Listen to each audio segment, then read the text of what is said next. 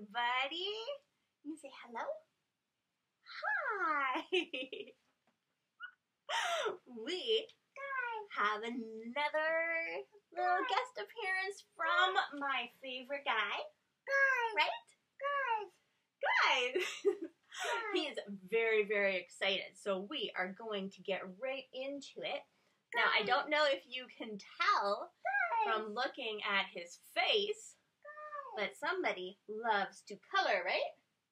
Do you love coloring? So, we are going to read The Day the Crayons Quit. Right? Mm-hmm. Mm-hmm. Should we read this, Dash? No. No, we shouldn't read it? I think we should. I think you do want me to read it. Ready? Let's start. The day the crayons quit. One day in class, Duncan went to take out his crayons and found a stack of letters with his name on them. You See his name? That's right, there's his name. See, there's his name to Duncan. It starts with the letter D. D for Duncan. D. And D for Dash.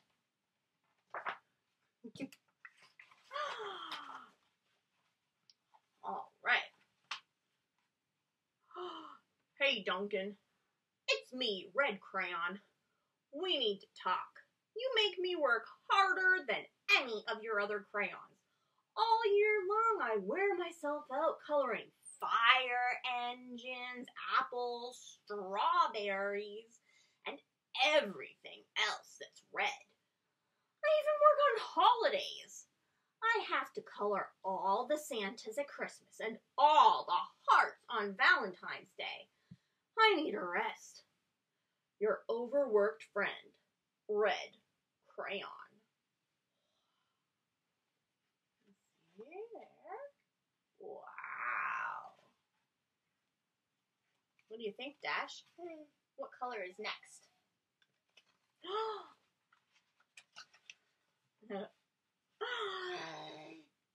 Dear Duncan, all right, listen.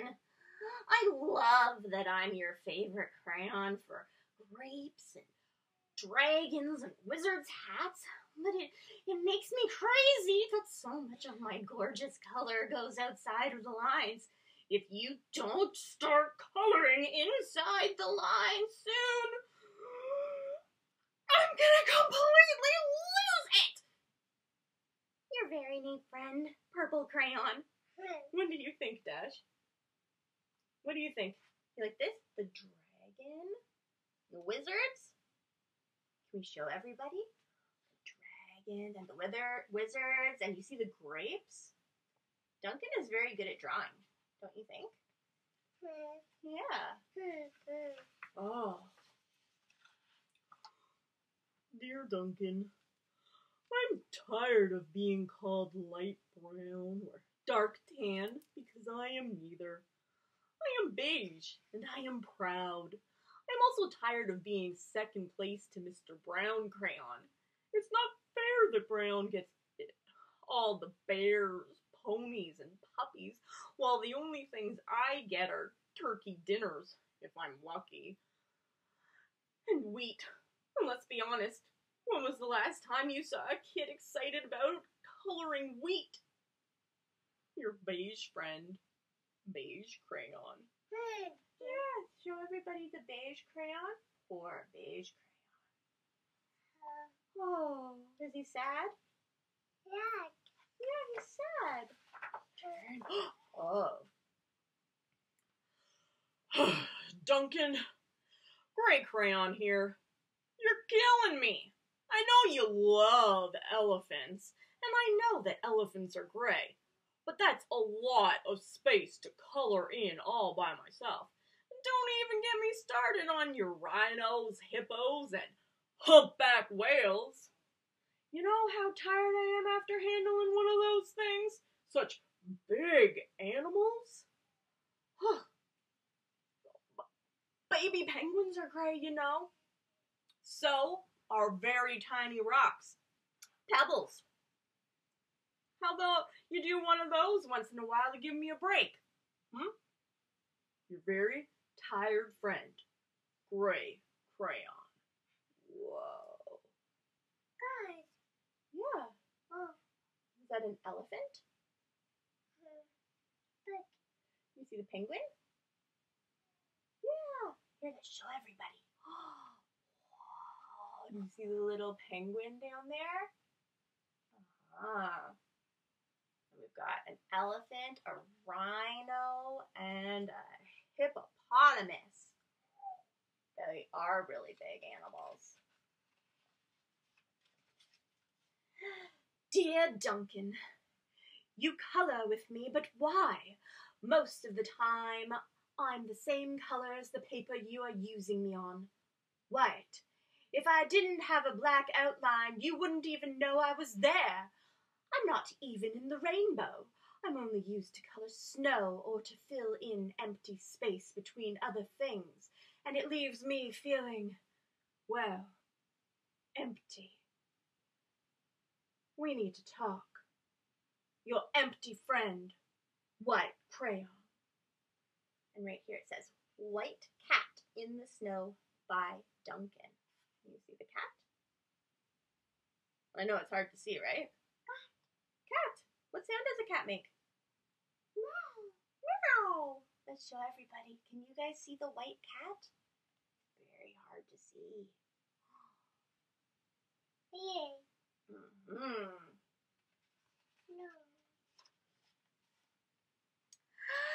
Hi, Duncan. I hate being used to draw the outline of things. Things that are colored in by other colors, all of which think they're brighter than me. It's not fair when you use me to draw a nice beach ball and then fill in the colors of the ball with all the other crayons. How about a black beach ball sometimes? Is that too much to ask? Your friend, Black Crayon. Hmm. Guys. What's this? Is that a rainbow? No. No, I think it is. And Mhm. there's a black beach ball, and these guys are playing with it. No. Yeah, let's show everybody. Whoa! Guys. You see? There's a Black Crayon. Yeah, those the guys. All right, let's turn the page. Dear Duncan, as Green Crayon, I'm writing for two reasons. One is to say, I like my work. Loads of crocodiles, trees, dinosaurs, and frogs. I have no problems and wish to congratulate you on a very successful coloring coloring things green career so far. The second reason I write is for my friends Yellow Crayon and Orange Crayon, who are no longer speaking to each other. Both crayons feel that they are the color of the sun. Please settle this soon because they're driving the rest of us crazy. Your happy friend, Green Crayon. See Green Crayon? What did Green Crayon draw? Dinosaurs and crocodiles and trees and frogs. Wow. Look. Frog. Yeah, what sound does a frog make? Look. Croak, croak, croak. I think that's a toad. The Um, frogs go ribbit, ribbit, ribbit. Maybe. All right. Dear Duncan, Yellow Here. I need you to tell Orange Crayon that I am the color of the sun. I would, but we are no longer speaking. And I can prove that I am the color of the sun too. Last Tuesday, you used me to color in the sun on your Happy Farm coloring book. In case you've forgotten, it's on page seven. You can't miss me. I'm shining down brilliantly on a field of yellow corn. Your pal and the true color of the sun. Yellow crayon. You see yellow crayon? Yeah, that's yellow. And that's orange crayon. All right, let's show everybody. There we go. Yellow and orange crayon because they are in a fight over who is the proper color of the sun. Do you think yellow is the color of the sun or orange is the color of the sun? No. You don't know? What do you guys think?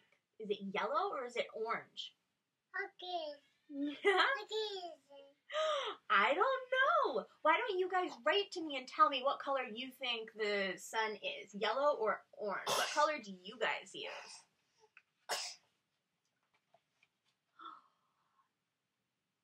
Dear Duncan, I see yellow crayon already talked to you, the big whiner. Anyway, could you please tell Mr. Tattletale that he is not the color of the sun? I would, but we are no longer speaking. We both know I am clearly the color of the sun because on Thursday, which comes after Tuesday, by the way, you used me to color the sun on both the Monkey Island and the Meet the Zookeeper pages in your Day at the Zoo coloring book. Aren't you glad I'm here? your pal and the real color of the sun.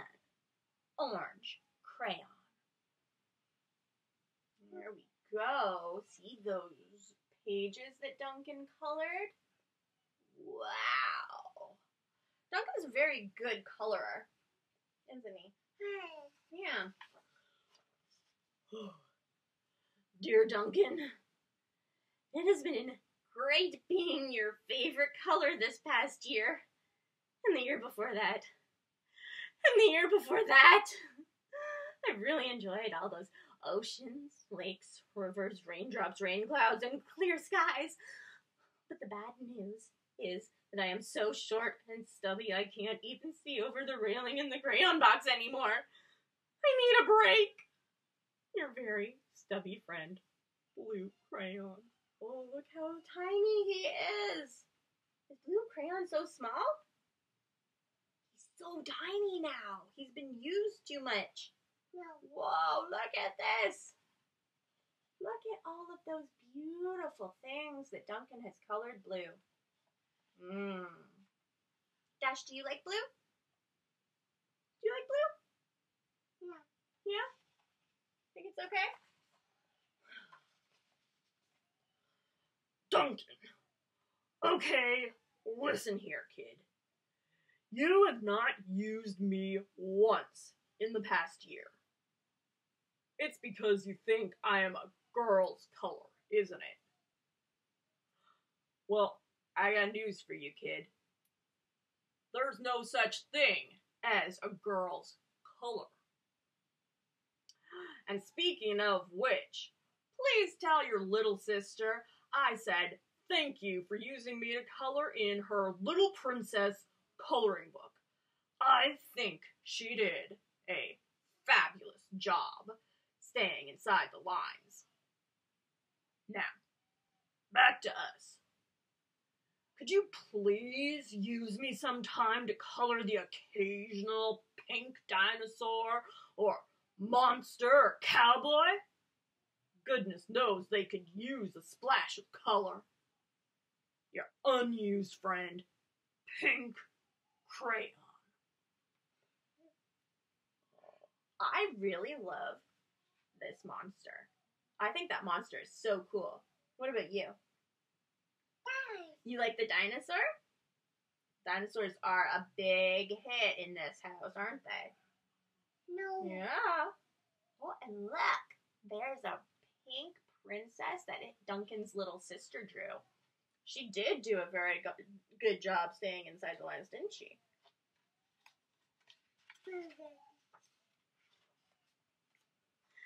Hey, Duncan. It's me, Peach Crayon. You peel off my paper wrapping? Now I'm naked. I'm too embarrassed to leave the crayon box. I don't even have on any underwear. How would you like it if you were made to go to school naked? I need some clothes. Help! Your naked friend, Peach Crayon. Do you guys peel off the wrapper when you have crayons? Oh no, you do? Then all of your crayons are gonna feel like poor Peach Crayon here. They're gonna be like, I'm naked, I'm scared to go out. oh. Well, poor Duncan just wanted to color. And of course, he wanted his crayons to be happy. And that gave him an idea. All of those letters. Guys, Are you ready? guys, When Duncan showed his teacher his new picture, she gave him an A for coloring. Wow. What do you think, Dash? There's a frog. What else is there? Another frog over here. Yeah. Did Duncan listen to all of his crayon friends? I think he did. Wow. Got a pink dinosaur and a very neatly colored purple dragon. We have a red elephant and a brown bear. We have a little white cat in color. The ocean here, or sea, is green. We have a blue fire truck. And little, look at those little penguins. And a big orange whale. Yeah, wow. Oh, and look, there's a princess flying an airplane. How cool is that? happy, How cool is that? And a horse. Do you see the horse? Yeah. And then a monkey over here. I think this is a great picture, don't you? Mm-hmm. Wow. All right, let's show everybody a big close up of this great drawing that Duncan did. So, Duncan's teacher gave him an A for coloring and an A plus for creativity. Wow. Isn't that so nice? Let's show everybody. Whoa! That's like a crayon that I grew up with, where you had like all these different colors on it. It was great. All right, everybody. Well, that is the end of story time today. I hope that you had so much fun with us, getting all of our colors and learning all about the crayons. And I hope that you will all treat your crayons well so that they don't quit. Wow! Isn't that a great drawing? All right, so I will be back here tomorrow at 4.30. If you have any Wow. requests for books, then just send me a message and I will do my best to read it for you. Wow. Hopefully, I will have it, and if not, I am trying to order in all of the books that you guys have requested. It just sometimes takes a little while with everything that's going on. But yeah, I hope to see you all back tomorrow. I had a great time Yeah. reading with you today. And I hope you have No. a great night. No. All right, bye. You say bye bye. Bye bye. bye. Goodbye, everybody. Thank you so much for watching.